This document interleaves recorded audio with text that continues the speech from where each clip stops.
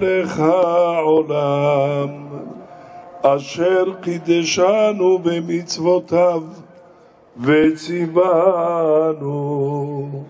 להדליק נר חנוכה.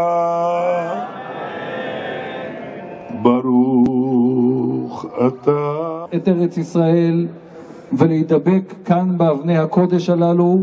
אני רוצה לבקש את כבוד מרן הראשון לציון שיברך את הקהל הקדוש ונשמע אחרי זה דברי ברכה מהרב הראשי לישראל ומשר החינוך.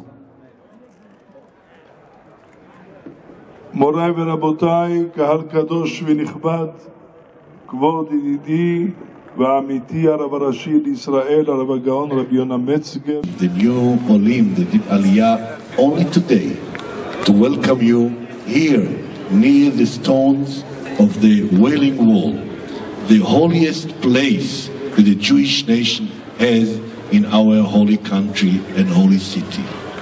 It's a great privilege and opportunity